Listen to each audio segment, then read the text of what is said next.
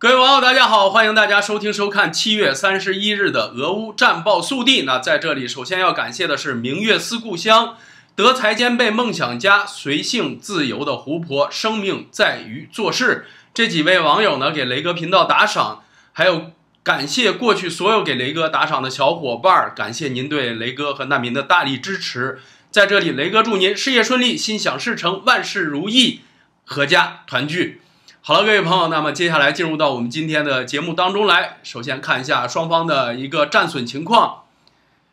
那么先来看一下俄方的战损数据呢，是来自乌克兰国防部，截止到当地时间七月三十日，俄军共计损失士兵四万零八百三十名，比昨天增加了一百六十名；俄军战机两百二十三架，比昨天增加了一架；坦克一千七百六十三辆，比昨天增加了四辆。步兵装甲车四千零四辆，比昨天增加了九辆；远程火炮九百一十六门，比昨天增加了十门；多管火箭发射车两百五十九辆，比昨天增加了一辆；军用汽车两千九百零二辆，比昨天增加了十三辆；无人机七百三十五架，比昨天增加了两架。接下来再来看一下乌方的战损。根据俄罗斯国防部当地时间七月三十日发布的作战简报显示，在过去的一天里，俄军摧毁了数个美国制造的雷达。伊斯坎德尔导弹在哈尔科夫地区摧毁了乌军的海妖基地。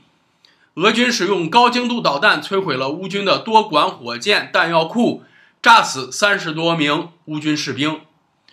俄地面部队摧毁了两门美制777榴弹炮，一套乌尔干系统，两套 JB 榴弹炮。俄炮兵摧毁了乌军六套格拉德火箭炮，两门自行火炮。俄军在对乌克兰一天的导弹袭击中，导致一百四十名乌军士兵被炸死。好了，各位朋友，以上呢就是来自双方的战损。那么接下来看一看双方都有哪些值得我们关注的消息。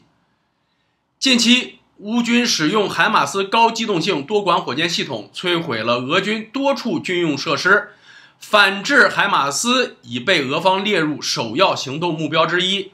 而现在，俄方又有了一个新的目标，就是需要反制 M 二七零多管火箭系统。乌克兰武装部队总司令扎卢兹尼。二十九日公布，M 二七零首次投入战斗的视频。M 二七零使用和发射海马斯相同的弹药套件，但 M 二七零一次可以装填两倍的弹药。扎卢兹尼在社交媒体上发文表示，乌克兰武装部队要感谢乌克兰的合作伙伴坚定不移的支持和援助，乌克兰将会和伙伴们一起走向胜利。乌克兰七月十五日接收了首批西方国家援助的 M 二七零，但未确切说明交付这种武器的国家名称。此前，英国与挪威都承诺提供这款武器。至于德国提供的三套德国版 M 二七零，七月二十七日才运达，应该还没有投入使用。有军事专家表示，视频中的 M 二七零搭配美国履带式斯巴达装甲运兵车。据判断，可能是来自英国。海马斯是一九七零年是为美国和盟军开发的履带式 M 二七零多管火箭系统的轮式改良版本。海马斯更现代化，且具有较高的机动性，两者基本上发射相同的弹药。M 二七零可携带十二枚火箭弹或两枚射程三百公里的 MGM 幺四零陆军战术导弹系统。ATACMS 战术弹道导弹，海马斯则可携带六枚火箭弹或一枚 ATACM 导弹，两者发射箱都采用模块化设计，弹药可以快速装填。英国提供乌克兰搭配 M 二七零使用的 M 三幺 A 幺精准导向式多管火箭弹，为美国洛克希德公司研发，是单弹头增程引导火箭弹。为卫星导引的精准攻击武器，美国援助的海马斯也同样发射 M 三幺 A 幺火箭弹，GPS 导引设计可针对七十公里以外的目标进行精准打击，且不留下未爆弹后遗症。再来看第二条消息，乌克兰总统泽连斯基三十日表示，俄乌两军在乌东顿巴斯地区交战激烈，下令顿涅茨克地区的民众从当地撤离。泽连斯基强调，现在离开顿涅茨克的人越多，俄罗斯军队杀死的平民就会越少。泽连斯基三十日下令强制疏散顿涅茨克州的民众，表示撤离的居民将获得政府补贴。泽连斯基指出，包括顿涅茨克与卢甘斯克在内的顿巴斯地区约有数十万人需要撤离，许多人拒绝离开，但仍需要这么做。泽连斯基向国民呼吁：如果你有机会，请和那些还留在顿巴斯战区的人谈一谈，说服他们离开，特别是那些有孩子的家庭。乌克兰副总理韦列舒克提到，顿涅茨克的天然气供应管线都已经被破坏。需要在冬季到来之前开始疏散。韦列舒克指出，乌克兰政府目前已开设一个协调中心，协助顿涅茨克地区的居民通过火车及公交车转移至乌克兰境内其他更加安全的地方。韦列舒克最后表示，拒绝撤离的民众必须签署某种形式的保证书，表明他们理解并意识到留在战区可能发生的所有后果。并为自己的生命安全负责。再来看下一条消息：乌克兰军队持续在乌克兰南部地区反攻。二十七日，成功以海马斯多管火箭系统摧毁赫尔松到占领区的安东尼夫斯基大桥后，乌军南部司令部三十日宣布，第聂伯河通往赫尔松的铁路交通已被切断。进一步将河西的俄军与被占领的克里米亚和乌东的补给区隔离开来。最近几周，乌克兰使用的西方提供的海马斯系统严重损毁第聂伯河上的三座桥梁。随着这座横跨第聂伯河的铁路桥梁被毁，使得俄军更难以支援在河西岸的俄军部队。英国情报部门指出。乌克兰战略性的攻击已经开始孤立赫尔松地区的俄军。乌克兰总统泽连斯基的顾问阿列斯托维奇证实，乌军近来一连串的行动已将赫尔松地区的俄军孤立在第聂河以西，正逐步摧毁其弹药库、燃料库和指挥系统。只要乌军开始反攻，该区俄军只有三个选项：撤退、投降或是被摧毁。但乌军也证实。俄军已经开始调兵增援，增派部队前往梅利托波尔、扎布罗热和赫尔松等地。阿列斯托维奇最后表示，俄军战略似乎已从进攻变为战略防守，试图保住乌克兰南部的占领区。再来看第四条消息：俄罗斯驻英国大使馆今天呼吁以羞辱的方式处决被俘的乌克兰亚速团士兵。这番言论随即引来乌克兰官员的强烈谴责。据报道，俄罗斯大使馆发布的上述表态之际，俄罗斯控制的乌东顿涅斯克一座关押乌克兰战俘的监狱遭到炸毁，俄乌相互指责是对方所为。乌克兰总统泽连斯基表示，这起攻击事件造成五十多人丧生，据称其中包括亚速营士兵。莫斯科驻伦敦大使馆在深夜发布的文章中写道：“亚速好战分子应当被处决，但不是被行刑队处死，而是应该被绞死，因为他们不是真正的士兵，他们应该羞辱的死去。”乌克兰总幕僚长伊尔马克随后在 Telegram 发文痛批俄罗斯是一个恐怖主义国家，在二十一世纪，只有野蛮人和恐怖分子才能在外交层级。讨论有人是否应该被处以绞刑。俄罗斯是支持恐怖主义的国家，根本不需要更多证据就能证明。今年五月，包括亚速军团成员在内的马里乌波尔守军同意投降，结束对当地乌军最后据点亚速钢铁厂长达数周的围攻。此后，莫斯科军队俘虏了约两千五百名乌军士兵。此前称为亚速营。现在改称为亚速军团的亚速特战分遣队，于2014年由极右翼分子创立。起初在乌克兰东部对抗亲俄分离主义分子，之后纳入国家卫队，受内政部指挥。再来看最后一条消息，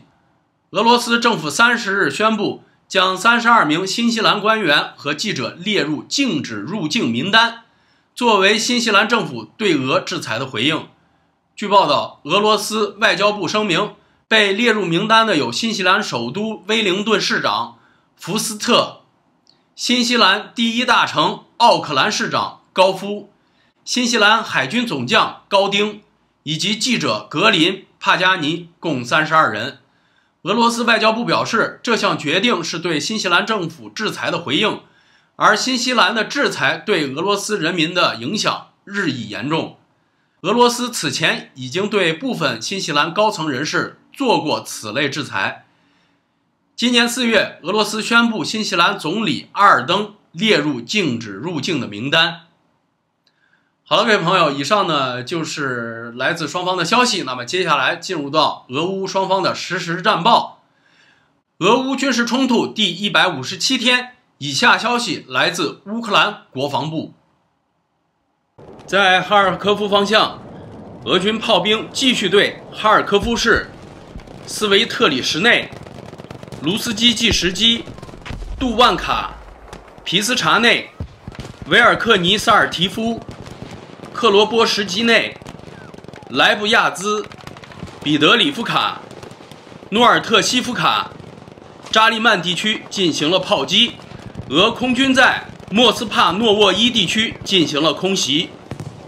在斯拉维扬斯克方向，俄军继续对多利纳、克拉斯诺皮尔、马扎尼夫卡地区进行炮击。此外，俄军在布拉日基夫卡地区的突击行动。被乌军成功反击，俄军随后撤退。在克拉马托尔斯克方向，俄炮兵持续对克拉马托尔斯克市上卡米扬斯克、伊万诺达里夫卡、佩雷兹尼地区进行了炮击，俄空军在伊万诺达里夫卡地区进行了空袭。在顿涅茨克方向，俄军正在集中力量试图摧毁乌军军事设施。为了在巴赫穆特、阿夫迪夫卡、辛波帕夫利夫地区的进攻创造有利条件，俄炮兵继续对军事接触线进行炮击。在巴赫穆特方向，俄炮兵继续对别列斯托夫、别罗格里夫卡、索莱达尔、巴赫穆特、科德玛、特拉夫内夫、扎伊采夫、纽约克地区进行了炮击。俄空军在亚克夫里夫。扎伊采夫地区进行了空袭。此外，俄军在塞米赫里亚地区取得了部分成功，并在被占领的乌军据点建立了防线。同时，俄军地面部队在波克罗夫斯克、特拉夫内夫两个地区的进攻均遭乌军成功反击，俄军随后撤退。在阿夫迪夫斯克方向，俄炮兵持续对新巴赫穆提夫卡。亚斯诺布罗迪夫卡、阿夫迪夫卡、内维尔斯克、佩尔沃麦斯克、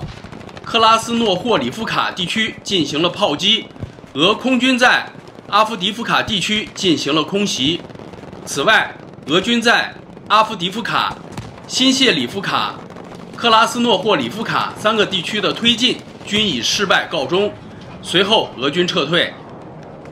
在新帕夫里夫卡方向。俄军在新希尔卡、马林卡、米基尔斯基、乌格莱达尔、普雷奇斯提夫卡、大新希尔卡地区进行了炮击。此外，俄军在叶霍里夫卡、帕夫里夫卡两个方向的进攻均遭乌军成功反击，俄军随后撤退。在扎布罗热地区，俄炮兵继续对扎里兹涅什内。